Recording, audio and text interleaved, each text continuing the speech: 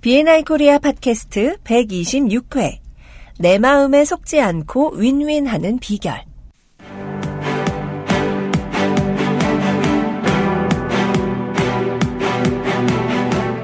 여러분은 지금 BNI 코리아 공식 팟캐스트를 듣고 계십니다.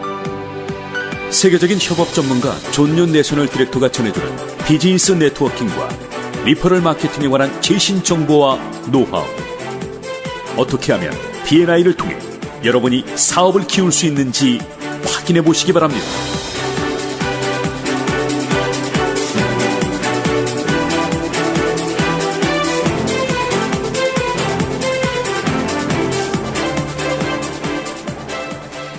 안녕하세요. 오늘도 BNI 코리아 팟캐스트 시작하겠습니다. 저는 아이오 스피치 커뮤니케이션 대표 윤혜경입니다.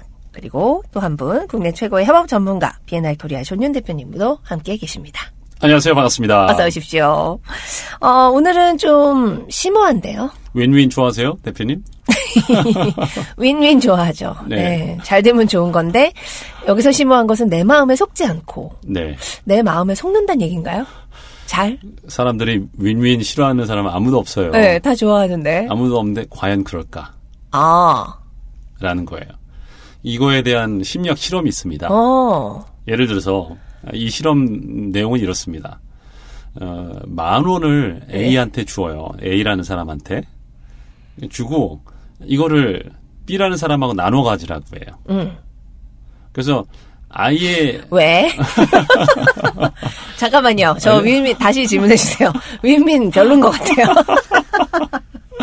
근데 아무튼 실험 조건이 그래요. 만 원을 네, 주는데 B랑 나눠 가져라. 네. 근데 어, 떻게 나누는지는 네 마음대로. 아하, 그러나 단 네.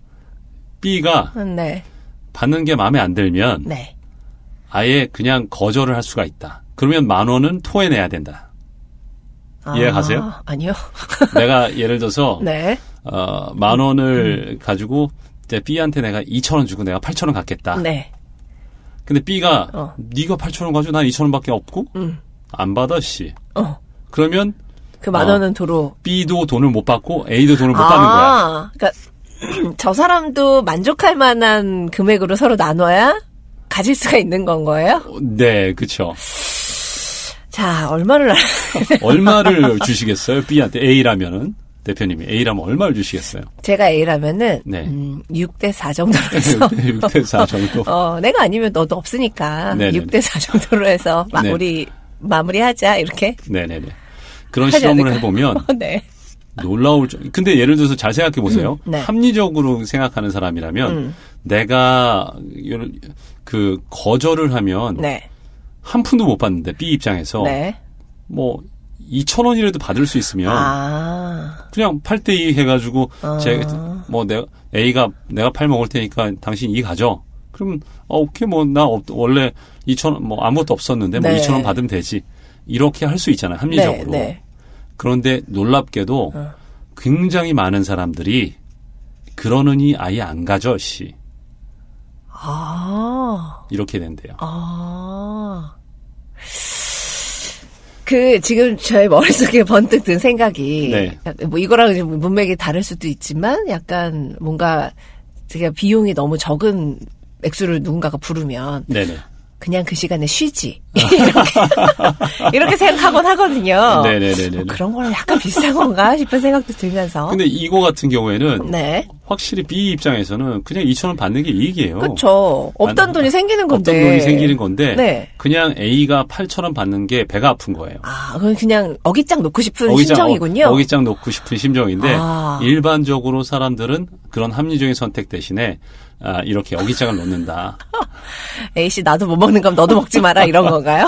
네, 그런 거예요. 그래서 어, 여러분이 지금 사업을 하는데 네. 예를 들어서 상대가 상대하고 계약을 해요. 상대방하고 계약하는데 상대도 돈을 하나도 못 벌고 빵이에요. 네. 여러분들 하나도 못 버는 계약 하겠어요? 안 하겠어요? 안 해야죠. 안 하죠. 네. 안 해요. 네.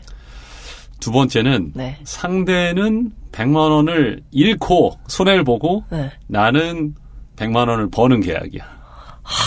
이건 너무 잔인하다. 그걸 선택해야 하는 나는 너무 잔인하다.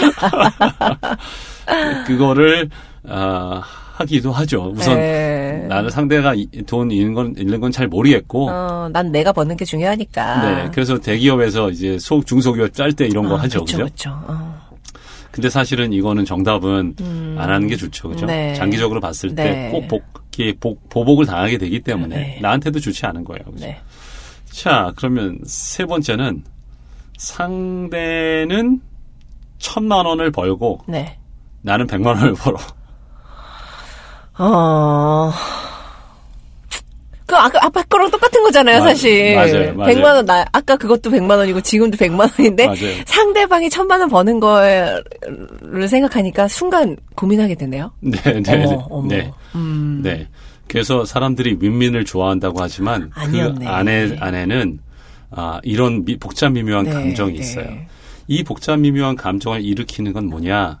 아, 우리가 아, 세상에 있는 돈, 우리 가질 수 있는 것은 한정되어 있고 제가 가지면 제가 많이 가지면 내가 가질 게 준다라고 음. 믿는 결핍 마인드를 갖고 있기 때문에 그렇습니다. 아, 그래서 사촌이 땅을 사면 배가 아프, 왜 배가 아프냐? 왜 배가 아프냐? 제가 사면 좋은 기회가 나는 없어질 것 같기 때문에 아. 예, 그런 게 있습니다. 네. 자, 근데 그 그래서 본능적으로 나오는 이 배 아픔에 따라서 씨 너도 먹지 마, 나도 안 먹을 테니까 이렇게 판단을 해야 될 것이냐? 네. 아니면 사- 아, 상대방이 천을 먹고 내가 백을 먹더라도 어 그게 뭐 네가 잘 됐으니까 좋겠어 뭐 어. 그래 나 나도 나도 왜 말을 더듬으세요, 자꾸? 기꺼이 아 영어가 나와가지고 아. I, I'm happy for you 뭐 이런 이렇게 할 것이냐 네. 네 그게 어, 보통의 사람들은 대부분의 경우에 결핍 마인드로 훈련이 되어서 사회에 나온단 말입니다. 네. 어, 초등학교, 중학교, 고등학교, 초등학교 때는 괜찮아요. 근데 중학교 때만 가도 벌써 성적 경쟁을 그렇죠. 하잖아요. 완전히 경쟁 사회니까요. 대학도 경쟁해서 네. 들어가고 취직도 경쟁해서 어, 하고 누군가가 들어가면 나는 못 들어가니까. 그러니까요. 어. 그런데 이 사회에서 성공하고 이런 것들은 장기적으로 봤을 때는 네. 어, 이 다른 사람을 잘 되게 해줌으로써 나도 잘 되게 하는 게 어, 이게 제일 성공하는 사람들의 비결이거든요. 네. 아, 이 마음을 그럼 잘 살펴봐야겠네요. 결국에는 내가 내 마음을 잘 알아야 그 다음 네. 스텝도 진행이 되는 건데, 네네. 100만 원 벌고 싶습니다. 아니 저도 이런 마음이 계속 올라옵니다. 그쵸? 우리가 네. 우리 자본주의 사회에서 훈련된 사람들은 이게 계속 올라오는데 관건은 이거를 계속 붙들고 있느냐 음, 아니면 내가 이걸 어 이런 마음이 있구나라는 걸 알고 탁 놓느냐. 네. 자, 오늘 또 돌을 닦을 수 있는 그런 오늘 주제로 우리 존윤 대표님께서 내 마음에 속지 않고 윈윈하는 비결에 대해서 말씀해 주셨습니다. 어떻게 다음 시간에 또 이렇게 심오한 대화를 나눌 수 있을지 기대해 보면서 비엔날 코리아 구독 여러분 많이 많이 눌러주시고요.